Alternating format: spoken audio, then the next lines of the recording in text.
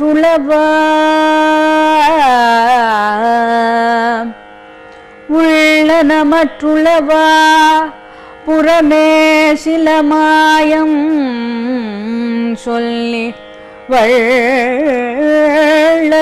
மணிவணனே என்றே புன்னையும் வஞ்சிக்கும் கள்ளமனம் தவிரோதே உன்னை கண்டு கொண்டு உயாதொழியாதேன் வெள்ளத்தோணை கிட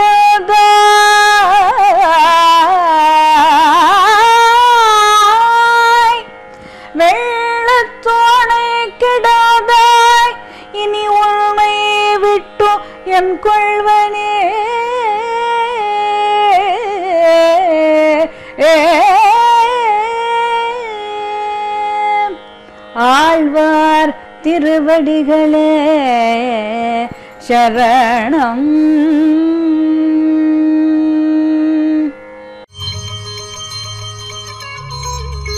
भक्तामृतं विश्वजनानुमोदनं सर्वार्थदं श्रीषटगोपवाङ्मयं सहस्रशाखोपनिषत्समागमं नमाम्यहं द्रविडवेदसागरम् उल्लनमत्तुलवाम् புறமே சில மாயம் சொல்லி வள்ளல் மணிவண்ணனே என்றென்றே உன்னையும் வஞ்சிக்கும் கள்ள மனம் தவிர்ந்தே உன்னை கண்டு கொண்டு உயர்ந்துகின்றேன் வெள்ளத்து அணை கிடந்தோய் இனி உன்னை విట్టు ఎన్ కొల్వనే అన్నారు నాయన ఉళ్ళనా అంటే ఈ హృదయంలో మత్తుళవా అంటే వేరొకటేదో ఉంది అంటే నువ్వు కాదు ఉన్నది వేరే విషయాలు ఉన్నాయి ఉంటే పురమే అంటే పైకి శిల మాయం సొల్లి కొన్ని మాయమాటలు చెప్పాను కొన్ని అబద్ధాలు చెప్పాను కొన్ని కపటాలు చెప్పాను.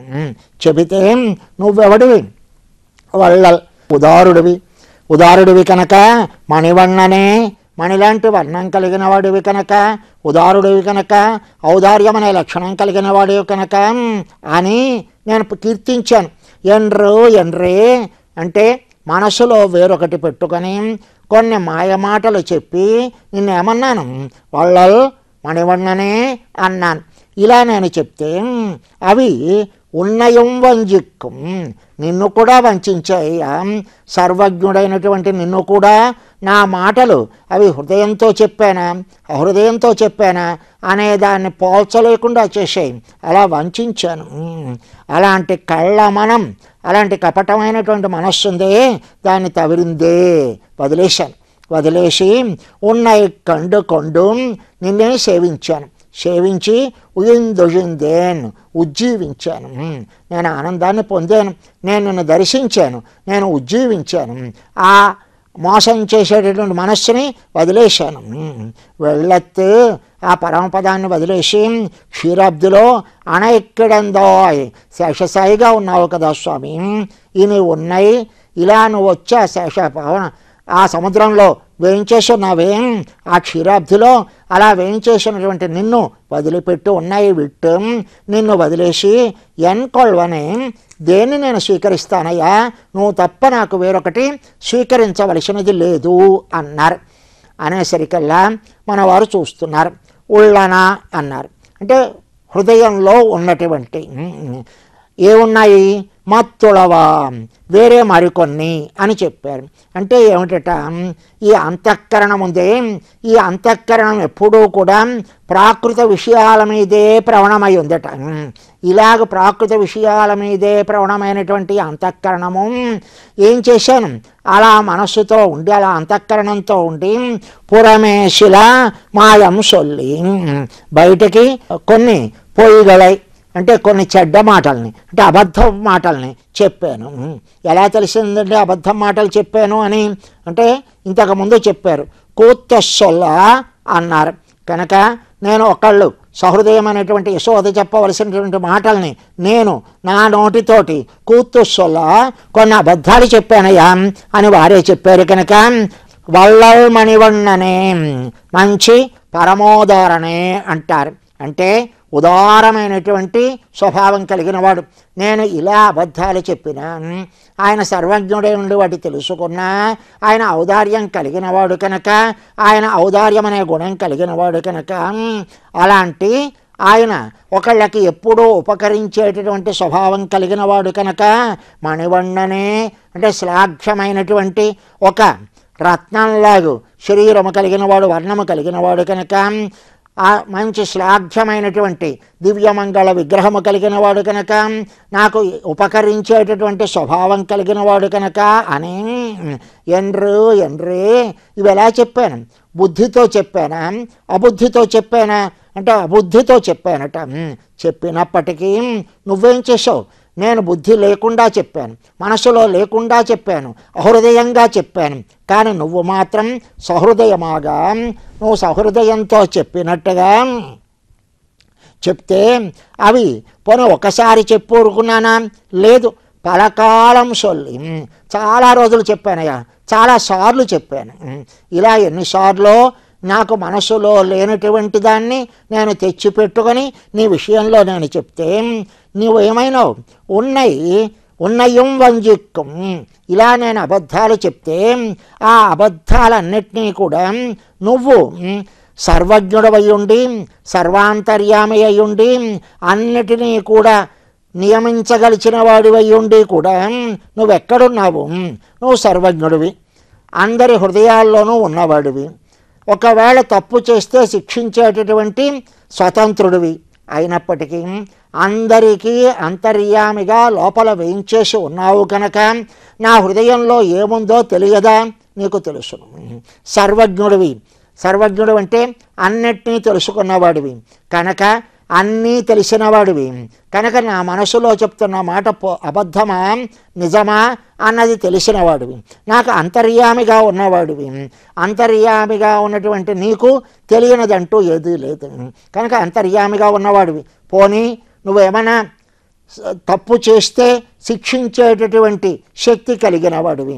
అయినప్పటికీ నేను ఈ అబద్ధాలను చెప్తే ఆ కృత్రిమమైనటువంటి మనస్సుతో నేను మాట్లాడితే నువ్వేం చేసావు ఇది సహృదయంగా చెప్పాను అని భావించి నాకు నా మీదకి నువ్వు నీ ప్రవాహాన్ని నీ సౌందర్యాన్ని నాకు దర్శింపచేసావు ఒక దయాస్వామి అంటారు. ఏమించేతట మిత్రభావేన సంప్రాప్తం నచ్చజేయం కదండి ఆయన లక్షణం. కనుక ఆయన ఉదారుడు. ఉదారుడు కనుక ఎవరైనా సరే ఒకవేళ మనసులో ఆ భావం లేకపోయినా ఆ మిత్రుడు అనేటటువంటి భావాన్ని స్వీకరించి వచ్చినా వాడిని తన వాడిగా స్వీకరించేవాడు కనుక ఆయన వదలలేడుట. నచ్చజేయం నేను వదలలేను. అశక్తుణ్ణి అన్నాడు కనుక ఆయన నా హృదయంలో ప్రవేశించాడు. నాకు దర్శనం ఇచ్చాడు అయితే ఏమైంది? ఆ దర్శనం అవగానే కళ్ళం కళ్ళ మనంత విరిందే నా యొక్క ఈ కపటమైన మనస్సుని కాస్త నేను వదిలేశానయ్యా. నేను వాటిని స్వీకరించలేదు. దాన్ని వదిలేశాను. వదిలేసి ఏం చేశామయ్యా? అన్నారు. అంటే ఉన్నై కండుకొండు ఉయిందుషిందేన్ నువ్వు ప్రాప్తం అంటే పొందబడవలసిన వాడి భోగ్యమైన వాడివి. అని నిన్ను తెలుసుకొని కండు కొండు అంటే నా నేత్రములతోటి నిన్ను స- దర్శించానయ్యా. అంటే ఒక నిధిని కోరేవాడు కానీ ఆ నిధి దొరికితే ఎలా ఆనంద పరవశుడవుతాడో అలాగో ఒక నిధిలా నేను దేన్నైతే కావాలి కావాలని వాంఛిస్తున్నానో ఆ నిధి నాకు దొరికిందయ్యా ఈనాడు. ఉన్నాయి కండు కొండు నిన్ను నా కళ్ళతో సేవించి నిన్ను ఉయిందొయిందేను ఉజ్జీవించాను నేను అంటే నిధి దొరికింది నా వాంఛిత నెరవేరింది. ఉయిందొయిందేన్ అంటే ఉజ్జీవించాను అన్నారు. ఏమిటి ఉజ్జీవించడం అంటే ఏమి అన్నారు? అంటే మనకి వేద శృతుల్లో చెప్తారు నాయన అసన్నేవస భవతి అంటారు. ఎవరట? ఎవరైతే భగవంతుడు లేడు అంటాడో వాడు లేనివాడి కిందే లెక్క.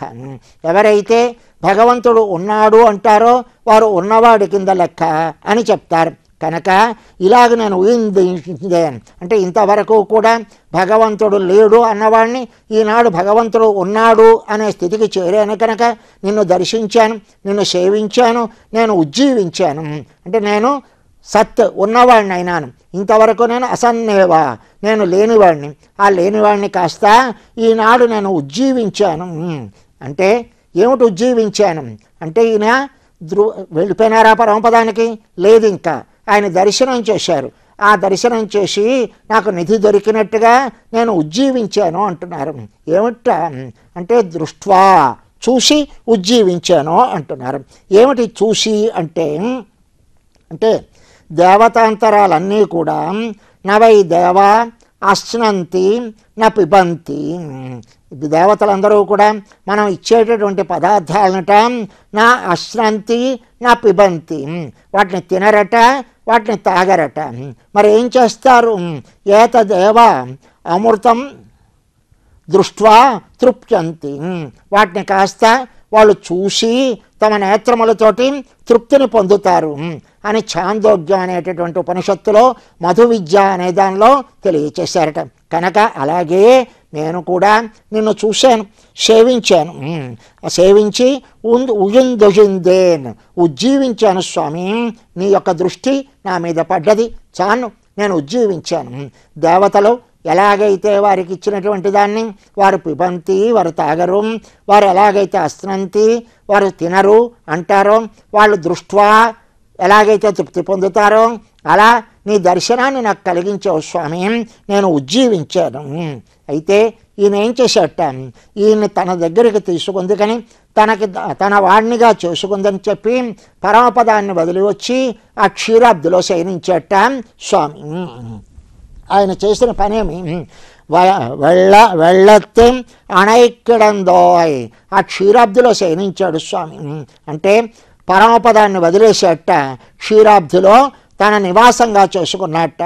ఎందుకని? రక్షణ కోసమని చెప్పి. అవసర ప్రతీక్షణాయ్ అంటారు. అంటే ఎవడైనా ఎప్పుడైనా స్వామి నువ్వే నాకు రక్షకుడివి అని కాని అంటే అనగానే అక్కడ నుంచి రావడం కష్టమవుతుంది కనుక వెంటనే వారి చెయ్యి అందుకుంది కని వారిని రక్షించడానికని ఈ లోకంలో ఉన్న వాళ్ళందరినీ కాపాడడం కోసమని అవసరం కోసమని ప్రతీక్షిస్తున్న వాళ్ళ యొక్క కోరిక ఎప్పుడు కలుగుతుందో అని ఆ సమయం కోసమని నిరీక్షిస్తూ అణైక్కడందాయ్ అయినా క్షీరాబ్దిలో ఆ శేషశయనం మీద వేయించేసి ఉన్నావు కదా స్వామి. కన్వలర్ అంటే నిద్రపోతున్నట్ట. అంటే పడుకొని ఉన్నాడు. కణ్ వళర్ந்து అరుళన పిన్బు అంటారు. అంటే ఆయన ఆ శేషసేనం మీద అలా పడుకొని నాకు కృప చేసావు కదా స్వామి. ఎక్కడో పరమపదంలో ఉంటే నాకు అవకాశం లేదు కదా. అందుకోసమని క్షీరాబ్దికి వేయించేసి నన్ను ఉద్ధరించడానికని ఇక్కడికి వేయించేసావు కదా స్వామి. అలా ఉంటే ఉన్నాయి విట్టు నిన్ను వదిలేసి ఎన్కొల్వనే నేను దేన్ని స్వీకరిస్తానయ్యా? అంటున్నారు. అంటే నిన్ను వదిలి అంటే పచ్చెక్కండు అంటారు. అంటే కానుకలన్నీ పుచ్చుకుంటారట కొందరు. పుచ్చుకొని ఫలవేళ అవుతుంది అంటే దానికి కావలసినటువంటి ఫలాన్ని ఇచ్చే సమయం వచ్చేసరికల్లా వాళ్ళు ఫలాన్ని ఇవ్వకుండా దాన్ని వదిలేస్తారట. అలాంటి వారిని ఆరాధించేదా అన్నారు. అంటే ఇక్కడ అందంగా చెప్తూ పచ్చై అంటే అర్థం కాసులు. అంటే కానుకల్ని స్వీకరించి ఆ స్త్రీల విషయంలో ఎప్పుడైతే ఫలం పొందాల్సిన సమయంలో వదిలేస్తారో అలాంటి వాళ్ళ నేను ఆరాధించేది కాదయ్యా. ఇంకా మరి ఎవళ్ళని అన్నారు. అంటే మరొకళ్ళు మరికొంతమంది ఉన్నారు. ఏమిటదట? ఆరాధిక్కుమిడెత్తెల్ దురారాధరాయ్. అంటే వాళ్ళు ఆరాధన చేద్దాము అంటే వారి కోరికలు ఎన్నో రకరకములైన కోరికలు ఉంటాయి కనుక వాళ్ళని ఆరాధించడం అనేది చాలా కష్టమైన విషయమయ్యా. కనుక అలాంటి ఆరాధన చెయ్యడానికి సులభులు కాని వారిని నేను ఆరాధించేదా? నిన్నే తప్ప వేరొకరిని నేను ఆరాధించేది లేదు అని చెప్తున్నారు. అయ్యా స్వామి నువ్వే నాకు ప్రాప్యం. అంటే నువ్వే పొందబడవలసిన వాడి. నువ్వే ప్రాపకం. అంటే నువ్వే నాకు ఉపాయము ఉపాయము నీవే ఉపేయము నీవే నువ్వే ప్రాప్యము నువ్వే నన్ను పొందించేవాడివి. ఆయన నువ్వు ఉండగా ప్రాప్యాంతరంగా అంటే ప్రాప్యాంతరములు అంటే పరమాత్మ కాకుండా వేరొకటి నాకు ప్రాప్యము అనేటటువంటి దృష్టి కానీ ప్రాపకాంతరం అంటే అది కాక స్వామి కాక వేరొక ఉపాయం ఉందని ఆ వేరొక ఉపాయాన్ని స్వీకరించేవాడిని కాను నేను వాటిని పట్టుకుంటానా? కనుక వాటిని పట్టుకోను అంటున్నారు. దురారాధర్ అంటే ఎవరు? ఇతర దేవతలు అని మనకు అర్థం చెప్తారు. కనుక ఇతర దేవతలను ఎవరిని ఆశ్రయించేవాడిని కాను స్వామి? నువ్వే నాకు ఆరాధ్యము నువ్వే నాకు ప్రాప్యము అయితే నాకు ఏదైనా వేరొక ఉపాయాన్ని ఆశ్రయిస్తానా? కాదు. నువ్వే నాకు ఉపాయము. కనుక ప్రాపకాంతరములు కానీ ప్రాప్యాంతరములు కానీ స్వీకరించేవాడిని కాను.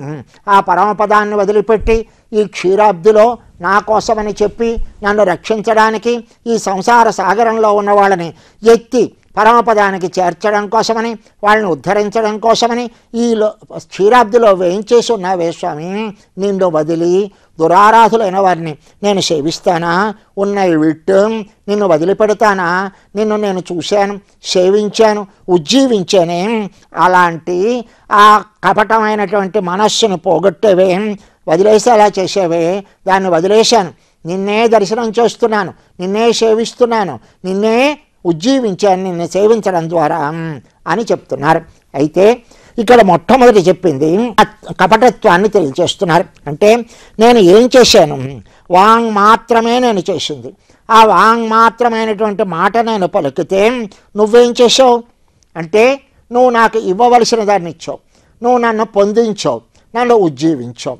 అయితే నేను చెప్పిన మాటలు ఎలాంటి మాటలట? కపటాలను చెప్పి నిన్నే వంచానయ్యా ఎంత సమర్థునో చూసావా మాయమాటలు చెప్తే సర్వజ్ఞుడైన వాడివి సర్వశక్తిమంతుడైన వాడివి సర్వ నీ అంత అంతటికి అన్నిటికీ అంతర్యామిగా ఉన్నవాడివి నువ్వు కూడా. వాటిని కనిపెట్టలేక అది నిజమే అన్నట్టుగా భావన చేసేలా నేను మాయమాటల్ని చెప్పాను తండ్రి. కానీ నువ్వు వల్లలేం. నువ్వు మంచి ఉదారుడివి కనుక ఔదార్యం అనే గుణం ఉంది కనుక నేను చేసినటువంటి మాటలు నీకు నేను చెప్పినటువంటి మాటలు తప్పని నీకు తెలుసును కనుక అవి అబద్ధాలని తెలిసినా? నా విషయంలో నువ్వు కృప చూపించేవంటే కారణం నీ ఔదార్యమే. నీ అన్నిటికీ కూడా ఆనందాన్ని కలిగించేటటువంటి మణిలాంటి ఆ శరీరము కలిగిన వాడా అని చెప్పి నిన్ను నాకు దర్శింపచేశావు. నిన్ను నేను సేవించాను. నేను ఉజ్జీవించాను అని ఆ పరమపదంలో ఆ స్వామిని సేవించవలసినది ఇక్కడే నేను సేవించి ఉజ్జీవించాను ఆ క్షీరాబ్దిలో వేయించేసినటువంటి నిన్ను వదిలి వేరొక దాన్ని నేను ఆశ్రయిస్తాను ప్రాపకాంతరములను కానీ ప్రాప్యాంతరములను కానీ నేను స్వీకరించను అని చెప్పారు ఈ పాసురంలో ఆళ్వార్లు స్వస్తి உள்ளன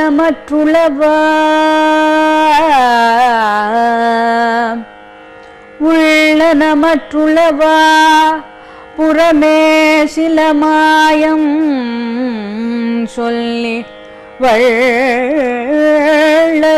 மணிவணனே என்றே புன்னையும் வஞ்சிக்கும் கள்ளமனம் தவிரோதே. உன்னை கண்டு கொள் வெள்ளத்தோணை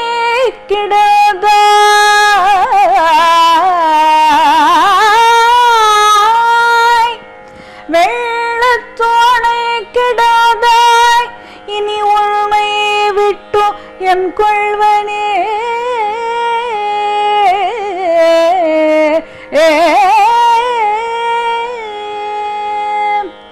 ஆழ்வார் திருவடிகளே. शरणम्